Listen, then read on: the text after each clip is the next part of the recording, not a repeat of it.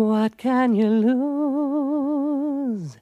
Maybe it's shows she's had clues which she chose to ignore.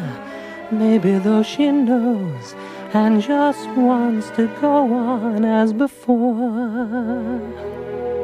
As a friend, nothing more. So she closes the door. Well, if she does, those are the dues. Once the words are spoken, something may be broken. Still you love her. What can you lose?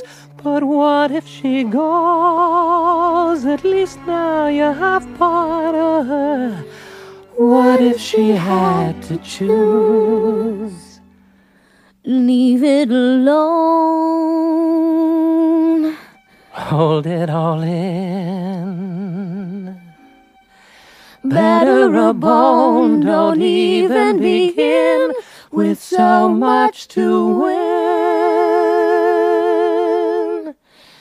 There's too much to lose.